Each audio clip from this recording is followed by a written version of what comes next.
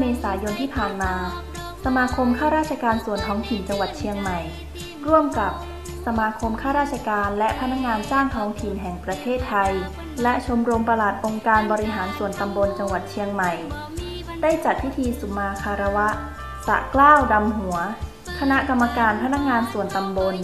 และคณะกรรมการพนักงานเทศบาลจังหวัดเชียงใหม่ ณห้องประชุมภูมิระพี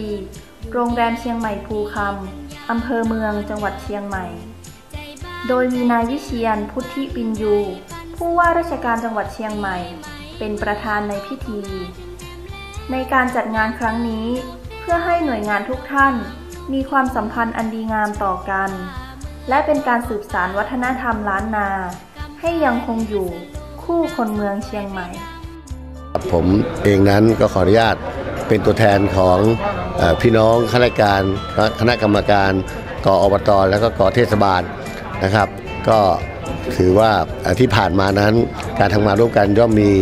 การกระทบกระทั่งย่อมมีสิ่งสิ่งใดที่อ่อาจจะมีการล่วงเกินกันโดยที่ตั้งใจหรือไม่ตั้งใจ หรือทำให้ไม่สบายใจต่อหน้าและรับหลังหรือทั้งกายและวาจาใจนะครับ ก็จะถือโอกาสนี้นะครับ ให้อภัยซึ่งกันและกันนะครับ ก็ขอให้สิ่งไม่ดีไม่งามนะครับ ไปกับปีเก่า ปีใหม่ขอให้มีแต่สิ่งดีๆ เข้ามาสู่ชีวิตของทุกท่านและครอบครัว